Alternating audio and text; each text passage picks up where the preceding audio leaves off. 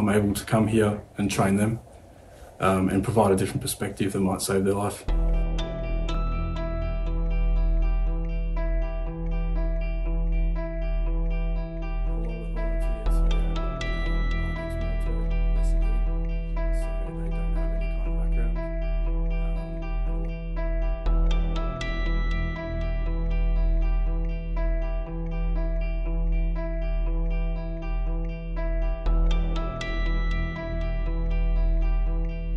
Mm.